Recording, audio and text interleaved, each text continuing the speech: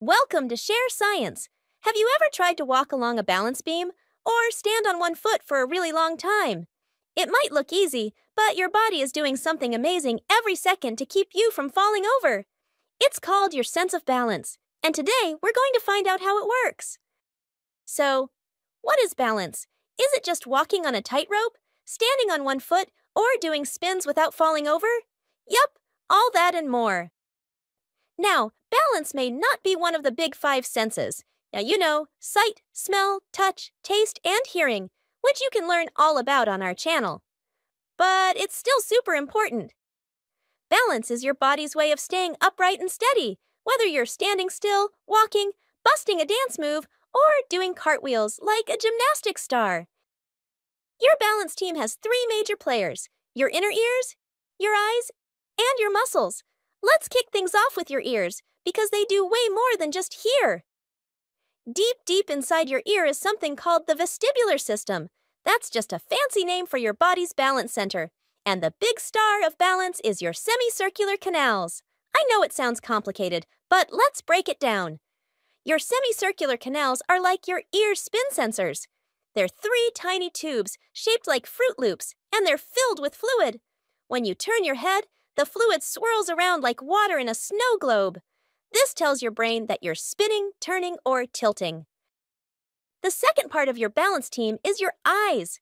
Your brain loves using your eyes to see the world around you and figure out what's going on. For example, if you're walking across a narrow log, your eyes help you see where to place your feet, how far down the ground is, and what's ahead. They're like your body's GPS. That's why it's so tricky to balance with your eyes closed, because your brain is missing one of its biggest helpers. It's like trying to watch this video with your eyes closed. Let's do a fun test to see how well you can balance with your eyes closed. Firstly, find a clear space where you won't bump into anything. Then try balancing a book on your head and see how many steps you can do with your eyes open and then with your eyes closed. Let us know how you did in the comment section. And now, the third awesome helper on your balance team is a big fancy word proprioception. So, what is proprioception? It's your body's superpower that uses touch in your skin, muscles, and joints to tell you where it is. But sometimes your balance team gets a little mixed up. Have you ever spun around really fast and then stopped? But felt like you were still spinning?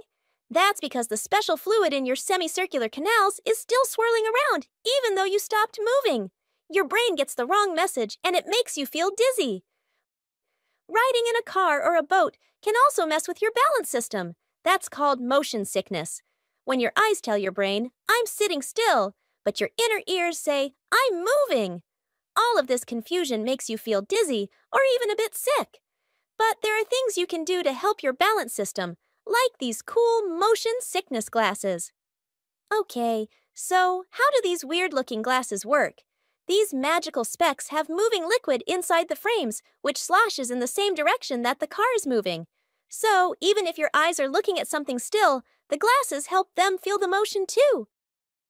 We hope you liked today's video learning all about your balance super team.